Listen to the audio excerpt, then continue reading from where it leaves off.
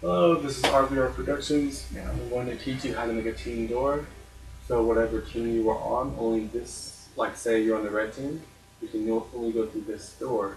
But say there was another team, like a blue team, and they had their own door, the red team could not go into that door.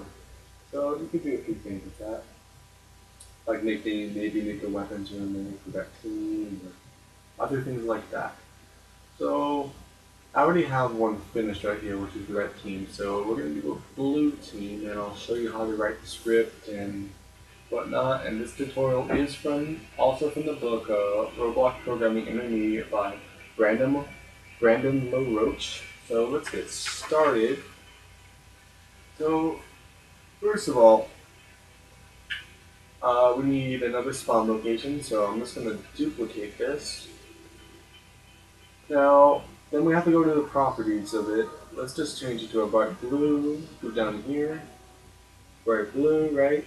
And right here, I already checked this for the other team, so we can change the teams that I can show you which how you cannot go through the, door and whatnot. So I'm just gonna say, so if they touch the block or whatever, uh, you can change the team. So that's good. We have our spawn location. Now we need to add a part. Uh, let's make this a little bigger so it's more like a door. Cool. And the door's bigger. Okay, anyways, uh, let's rename this. Let's just call it door because it's the door, you know. And we're going to add a script. Add script. Cool. So let's get started. And as always, you need to start with some locals. So what you're talking about, we're talking about the door part. So let's say equals the script dot parent. And that that declares the local for the door. Now we want to say if uh, the function function on touch. So when you touch this part, which is the door, um, we want to have it uh, say, okay, next we're going to add another local for the player itself. So it says what is touching this, what can actually go through this, and we only want players to go through these doors.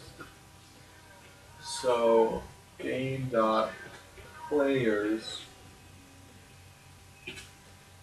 get player from character. Right there. School. And what we're going to put in the parentheses is part dot parents. Cool. So that's done right there.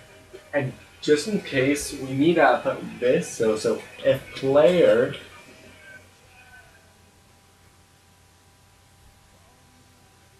basically the squiggly line I, I get caught. I don't know the exact name off the top of my head so equals nil then basically what the nil means is it's checking if the player is a real player and so let's just say that you have an NPC uh, like maybe like a zombie or just a non non-username player that's just walking around like a CPU.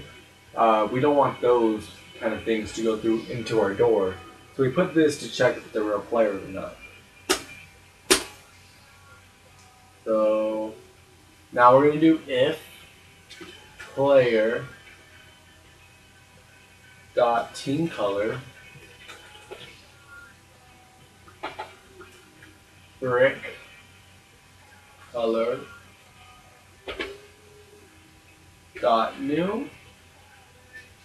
And what the color we're using is bright blue. So that's the color I chose for the spawn point. So then if that happens they um, with all all of the checks have been done now, so we can be sure that the player that is trying to use blood belongs to the correct team. That being said, we can now open the door and then wait to once it again close it. We will be opening the door by making it non-collidable and slightly transparent. So we're going to add the following lines. So door dot can collide uh, equals false.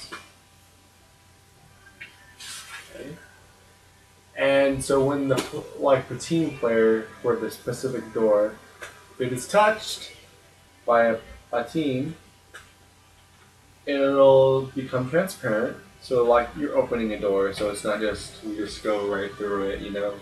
Now a little cooler effect to it. So we're gonna make it half transparent, 0.5. So then we're gonna wait wait two seconds so we have time to go into the door. Then we're gonna say door can can collide equals true. So now we can actually go through the door.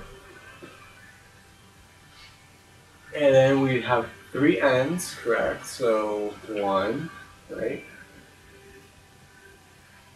Two, three. And the last piece of code we need to put down is just to connect the touch and stuff whatever. So touched, or touched, connect on touch. And that should be good. Bright blue. We have a door. And do I have my, uh, oh there it is. Cool. We have our teams, so, yeah. So I'm just gonna check over this one more time, just see I've got everything. Bright blue, yeah, yeah, yeah, yeah. Yeah, that should be good. So let's start this, and I'll show you that I'm on the red team. I can go through this, see? Cool. But I can't go through the blue. As you can see, it doesn't go transparent. Because I'm on the red team. But if I were to go on the blue team, I can go through it. See? And vice versa. So I hope you appreciated this tutorial. I'll be doing more of these and comment if you have any questions about this tutorial and maybe if I can do better or whatnot. And like, subscribe, and comment, and yeah, peace. RVR Productions.